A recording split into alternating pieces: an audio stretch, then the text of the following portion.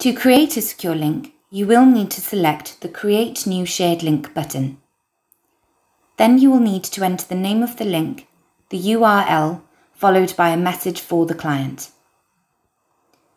In this case, we want to share with them the terms of business and fee agreement, which are stored within a secure folder on Dropbox, and we will ask if they could please review and sign the documents.